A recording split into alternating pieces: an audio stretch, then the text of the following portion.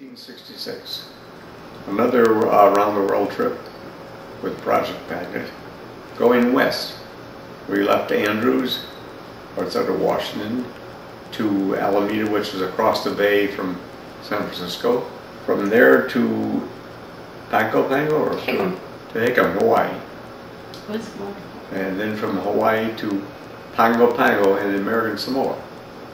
And we landed and noticed that there was a lot of commotion around the airfield there. So we asked to see what the hell is going on. Well, the president's coming. And so evidently LBJ was on his way to Saigon. He was president then. And uh, was due to land to refuel in Pago Pago. And when he was there, he was going to dedicate a new school in the local town. And this wasn't much of a town. Wasn't much of an air, airfield. Wasn't much of an island. So sure enough, about two hours after he land, in came Air Force One. Uh, it was a 707 then, and uh, down the the steps came LBJ and his entourage of press people and stuff. But there wa- it was no big old security thing. I have a photograph of him. I was about 20 feet away. LBJ in the back of some old Chevy convertible they took around the town. They went to that school and dedicated the school.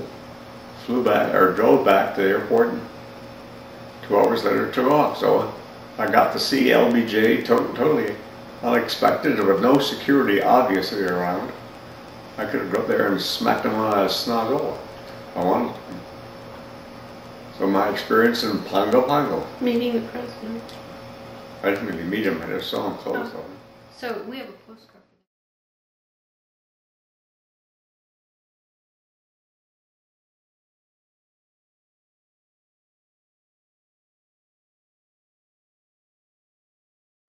So we have a postcard for that. Where did I go from there? Pongo, Pago, Pig, Pongo, Pongo to Auckland. Oh, Auckland, New Zealand. See if you have. On the North Island. 19. Very nice town. This hotel we're staying at. We're down for breakfast the next morning. And lo and behold, it, was only about three people in the dining room for breakfast. It was on a weekday, I think. And sitting about three tables away by himself, Arnold Palmer, who was in, in town for some golf tournament then. So my second celebrity within uh, two or three days. From Auckland, I went to uh, Christchurch, I believe. Mhm. Uh, Christchurch, because that was a dropping off place for a flight down to Antarctica. Spent a few days in Christchurch. Oh, one of the interesting things about New Zealand, they still have the uh, leftover laws from, uh, this was 1967, right? 66 Six. leftover World War II laws from uh, when we were uh, afraid of a Japanese air attack. They had uh, lights out curfew at 6:30, and so there was the uh, the bars. There was they still closed at 6:30. No booze. They kept the the, the, the booze laws, but they still had the lights on, all that kind of stuff. You know, back to normal except in a prudish English way, English Protestant way, and no booze after 6.30 in the afternoon. Because that was part of the uh, blackout procedure from World War II. So you're in there having a drink, and next thing you know, it's called a swirl. They served beer out of a, like a garden hose attachment to the, uh, instead of a beer tap, it was a hose tap. And the bartender went up and down the, the bar with his garden hose, kind of a, a you know, that garden hose has a sort of trigger thing. He would fill your mug on, on um, as you were standing, sitting in your chair. So it was sort of a kind of a mobile beer tap. It was a wild dash to make it by 6:30 Did they give you that? to McMurdo, McMurdo uh, Station in Williams Field on the Ross Ice Shelf. It was a, a landing field uh, actually on, on the ice. I had been trained uh, for uh, polar navigation. I went to polar navigation school for because you can't use normal charts and magnetic compass and all that stuff. As you get close to magnetic pole because the compass becomes uh, unusable, magnetic compass. We use a gyro compass and some kind of a different grid to uh, to fly around. And that's why I went and uh,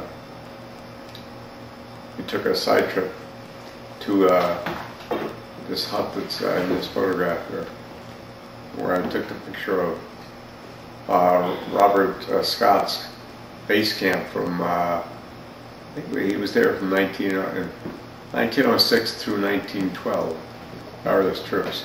It was abandoned after he died. I was returned from the pole in 1912. And we were the first people that let into that. It was like nobody used to go want to go there, I guess. This was 1960, so- was it 66? 66. Yeah.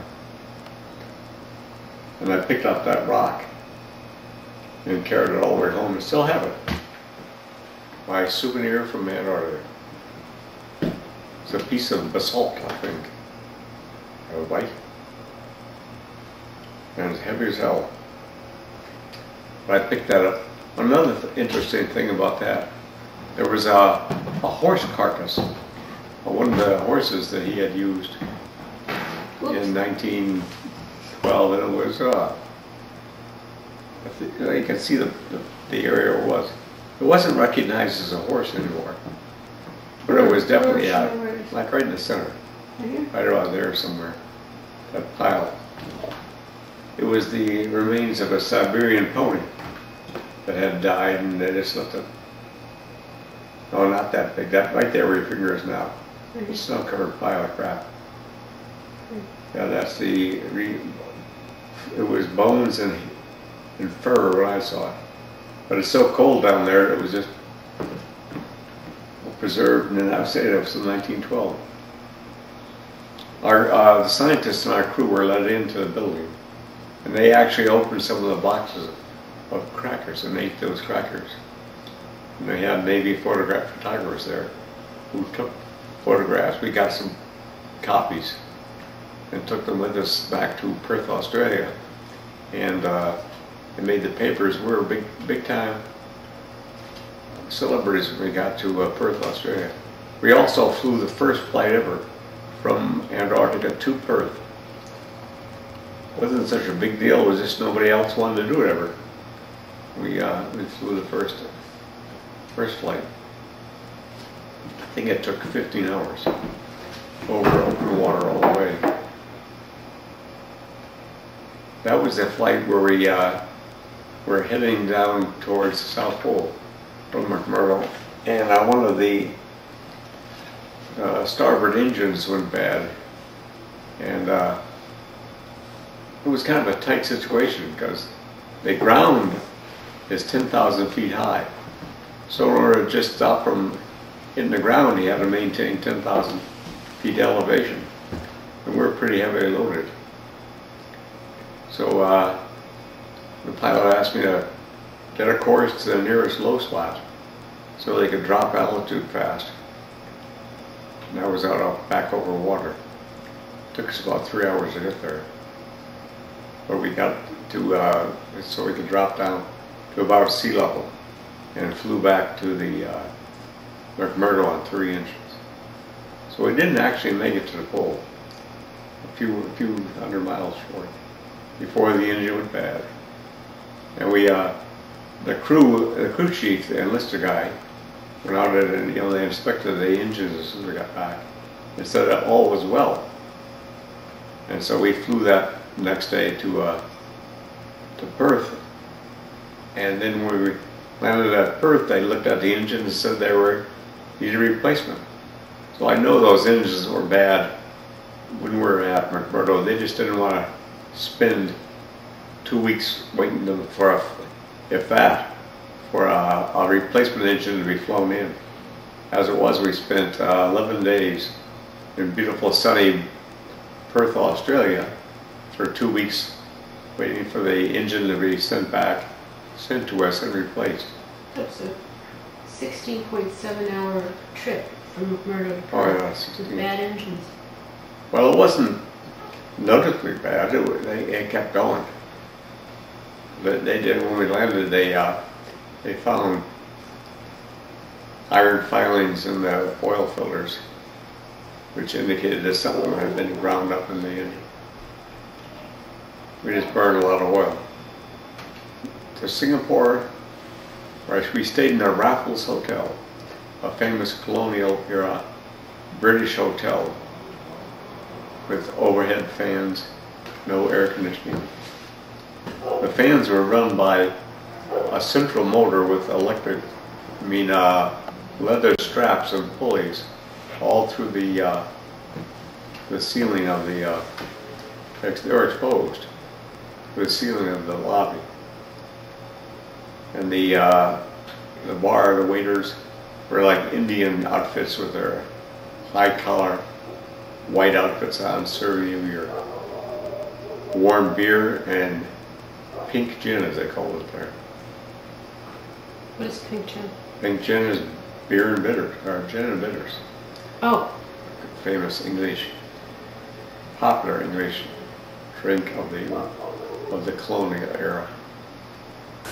Bangkok. I don't remember much about Bangkok, other than they had canals instead of streets. The Venice of the Orient. Or the crew set me up for a, one time. They were out to, uh, to lunch, and they all ordered this pea soup. Well, soup it had these things that looked like peas floating around it. And I bit into one of those peas, and it was the hottest, hottest s- burning spice I have ever eaten in my life. Talk about being set up. They, they got me. And they got all got a big laugh out of old naive Hogarth biting into the old hot fruit. That's all I remember from Saigon. Oh, the on it was all I say it was all canals instead of streets, and they had these canoes like instead of taxis, with these huge V8 engines with a long propeller shaft sticking out the back and an exposed propeller on it. I remember seeing a James Bond movie. One of the chase scenes was using these uh, water, canal water taxis, these big V8 engines. They're just a big canoe with a big monstrous engine. Quite a lot of fun. And those canals were not the uh, pristine, clear water that you might think it was. Uh, not only was the water transportation, it was also the public sewer, I think. And uh, one, one of the things I note about most of the tropical cities I've been to, Saigon, Bangkok, Singapore, Abidjan in Africa, Recife, Brazil, and uh, Guayaquil, Ecuador, they all have this characteristic smell. If they're equatorial tropical cities, they're very hot, very humid, and any living matter, well, former living matter, animal or plant, instantly rots. And like a di- discarded ba- banana peel or just normal garbage, it instantly starts to smell putrid, and the entire city smells like that. When as soon as you walk out the plane, it hits you right in the face, and say, "Man, I'm in a tropical city right now. It's hot, sweaty, and stinks." Saigon's the same way. Or the the one exception to this equatorial uh, stinky city was uh, Nairobi, Kenya, which is right on almost the equator in Africa, but it's at such a high elevation. It's uh, has climate very similar to San Francisco, and it's not on the coastline either. And that was a at that time a beautiful, clean city when it was. Uh, they just had got their independence in, uh, in the mid '60s when I was there but right smack on the equator. So when we get to, uh, in my logbook chronology, I get to Nairobi. I have some interesting stories to tell you about that town too. Here's one. I don't know if we thoroughly did Auckland, New Zealand. Yes, that's where I met Arnold Palmer. Right, here's the picture. Auckland, New Zealand. Auckland, New Zealand, they, uh, right outside the hotel, there was a, a town park on a hill full of grass, and they had, uh, sheep just grazing on, in the park. Sheep everywhere in New Zealand. And I guess it's their, like we have beef, they have, uh, mutton. One thing I always wanted to eat, but I never have, is mutton, mature sheep. I like lamb, but I never had mutton. So if anybody ever comes across a mutton, I'm ready to be served. Are we still recording? Yeah. Oh, oh, you're going to edit this to take out the, the dead air. Right. You have a back alley here of uh, Perth. Bath, back Back alley alley. of Perth, Perth. Perth, Australia. Don't remember any back alleys there. Another uh, coastal city, but very much like San Francisco. It's on the west coast of Australia and has the same climate as San Francisco. Sort of mid 60s, 70s. Well, you make the same comment back here at uh, New Zealand, that something is very much like um, Auckland, New Yeah, Auckland was very nice. Climate nice. like San Francisco. San Francisco. San Francisco is my benchmark for, Yeah. for beautiful climate, beautiful cities. If I had any, any preference, a place to live, I would live in San Francisco or something similar. Berkeley was nice too. Here's a one from um, McMurdo, exterior view of, you have it crossed out, 8th Station, and then you say Williamsville. McMurdo. Yeah, the field down there, actually not a field, it's a hunk of ice. Oh, Ross Ice Shelf on Ross, Ross Bay, I guess. yeah, Mc- McMurdo Sound. there's a postcard here with a great big log, and it said this log, located near the restaurant in Kings Park, was brought to Perth from Pemberton, where karri trees grow to a height of 250 feet or more. The mm. specimen is calculated to be 100 feet long, 24... I don't really care about the log. No? It was just a postcard, just a postcard that was sitting there and I picked up and bought it and sent it home. It says quite a toothpick. Quite a toothpick. It's- I don't remember it. And when I was in Perth, I didn't stay with the crew downtown because they were just too much drinking and hell raising. I had enough of that, so I, on my own, moved out to a, Here's an a beach, interesting a beachfront hotel. Scarborough Beach near Perth. You guys Perth. want to hear me? And there are people lined up. So much for my, so much for my interview. He was just saying that I he was was just- going to. I'm just giving an the interesting beach. anecdote. Oh, Go I lost my train of thought. Oh, God. He said he didn't stay with the crew, he moved out to Well, I the heard beach. that. And that's the beach. But you interrupted the, the entire, dis- But look at, people are Discourse. lined up here like on the, like a thing, like sardines. do you want, do you want to take the mic here? Look at this. Do you want, do you want to take the mic? I don't care. No. Did you see this? Why? These people That's are where lined he up like lived. sardines Lined up like sardines on like a tray. on a tray. Do I care? I guess I have to care. What the hell is going on?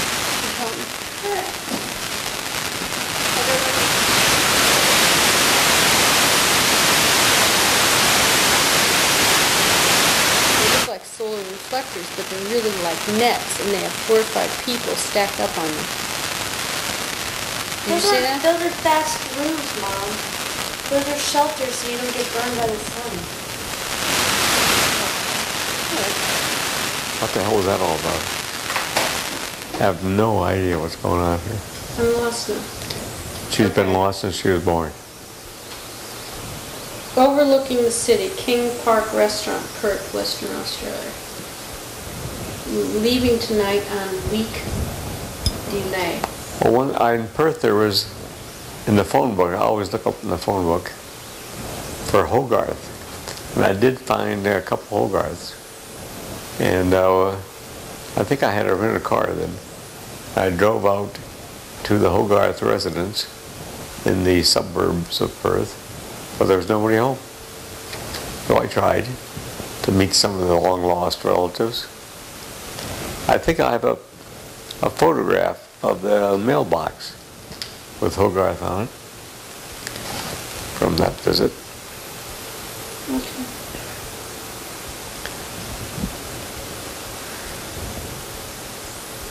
I don't know when this was, Ceylon, You didn't get there yet. 11 We're going by the, we're going by the logbook, Okay, not the postcards. okay. because I didn't send the postcards from every place, nor did I take a photograph of every place I was at. So it's not,